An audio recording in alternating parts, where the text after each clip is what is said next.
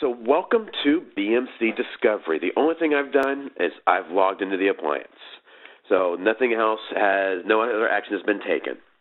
When I log into the appliance, we use very detailed role-based access control. When I log in, I see my dashboard that I want that I want to go to. So just to show you here real quick, we have a list of out-of-the-box dashboards. For the most part, they are persona based.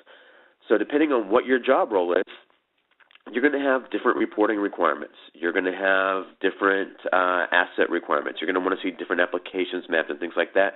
So we have all these different dashboards built out. I personally start with my credentials with the baseline dashboard.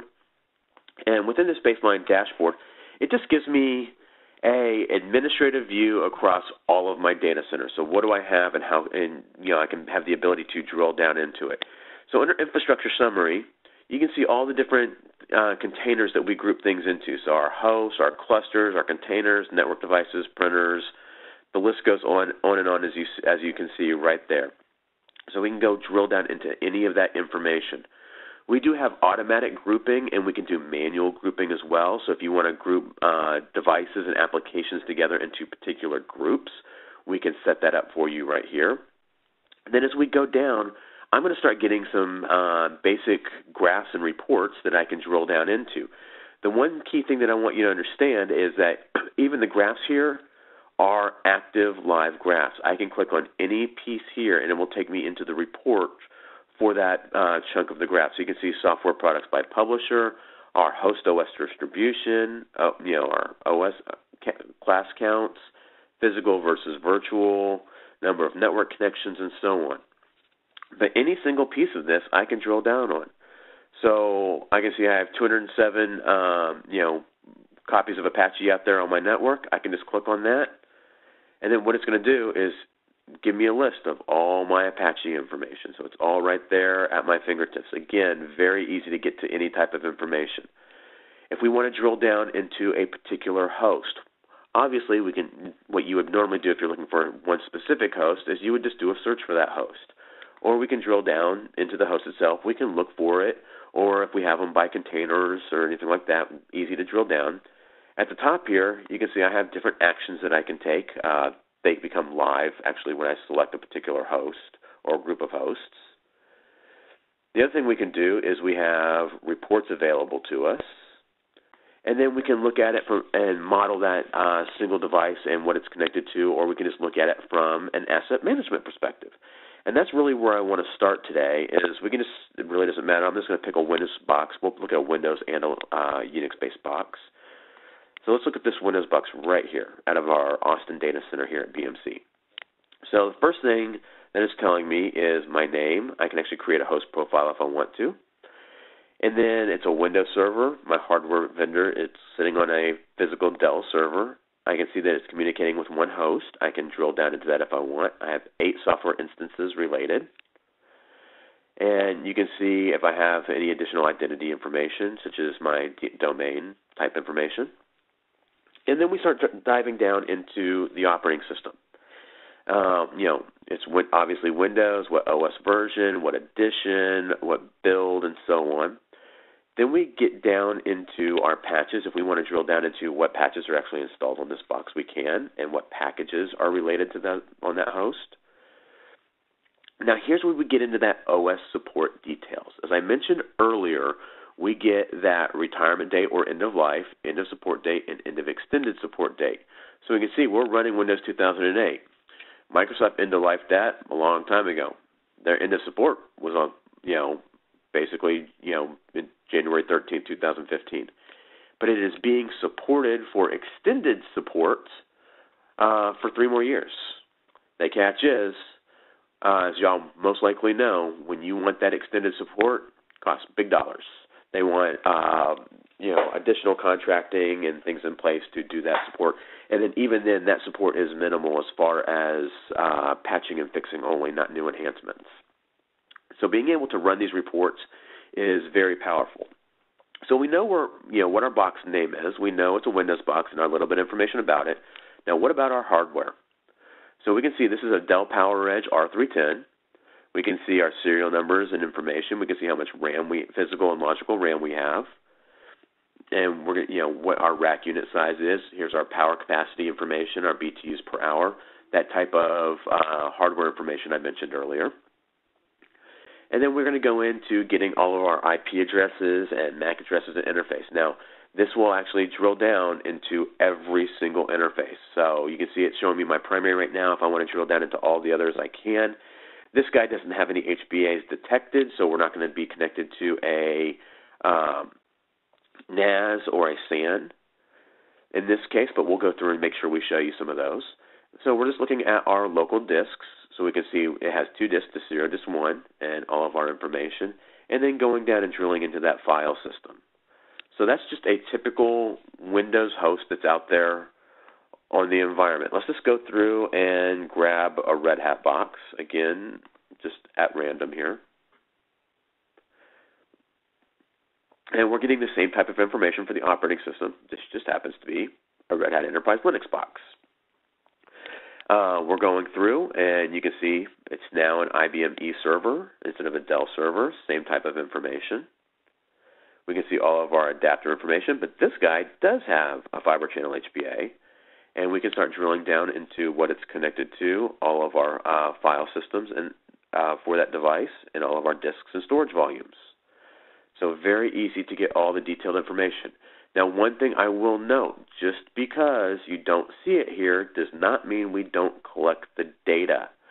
Uh, you can actually change what bits of information is on these different views. So if you need more or less information, uh, we can uh, create that and get that done for you. So if we go back to home, we've now we've looked at a couple of systems. Let's just take a look at what we would see if we were looking for where is it at? A storage system.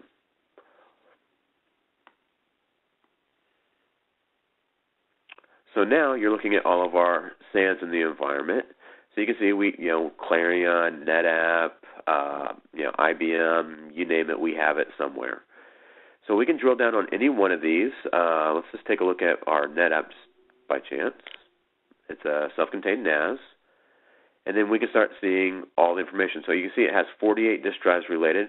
Our file systems, we have 12. So again, just because you're not seeing it doesn't mean we can't just click on the box and get all of our very detailed type information about all the, uh, the drives, all the lines, everything that we have within those devices.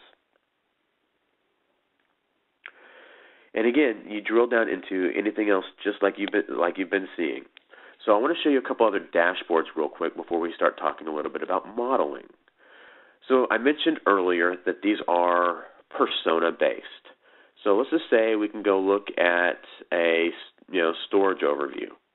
And the one thing I will show you is you can see this overview, this is the original storage overview. This one has a little X next to it. This is something that we've made.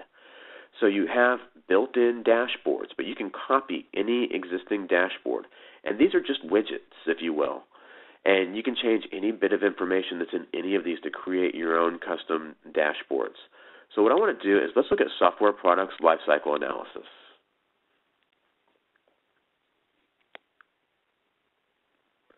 So I'm now looking at software by, by category. I'm looking at software by publisher. And then I'm looking at my software risk. So when I'm looking at this, I can see, you know, when my what's end of life, when things are end of life, when of end, end of extended support, uh, end of support.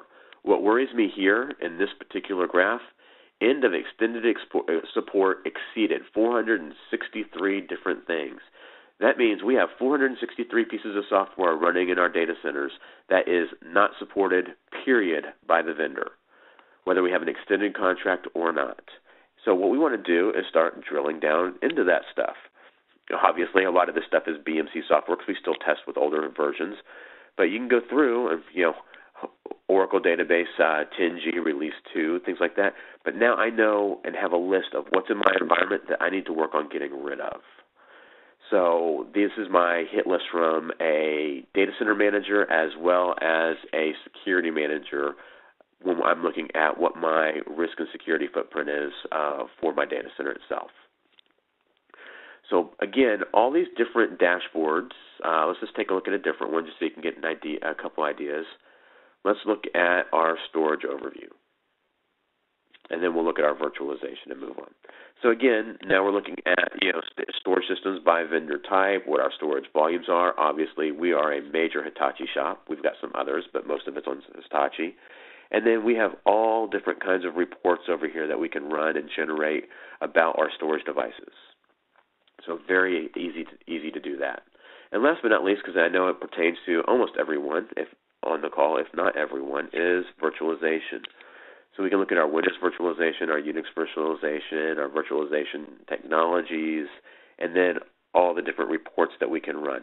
So out of the box, I think I don't, I don't quote me on the number, but I think there's a little over a hundred out of the box reports within BMC Discovery uh, across the board for all the different technologies. Now, what I want to do next is take you into the modeling. So when we start talking about modeling, we're going to do an application model. And I want to show you how that start anywhere mapping works. So you can see I have some stuff that's, uh, you know, some models, that one that's not published, and we've got some CAM, old CAM stuff and some other stuff. But what I actually want to do is I want to do some models from scratch. So I'm going to do two. One of them is going to be a pretty simple example. One of them is going to be a little bit more complex. So remember when I said the Start Anywhere application modeling, all you need is a little bit of information to give the system something to go off of. In this case, I want to map out a Remedy environment.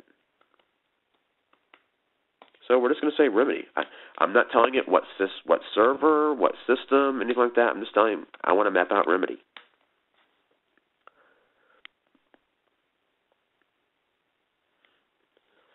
Now, what that search did is it looked for Remedy, and it's giving me two sets of results.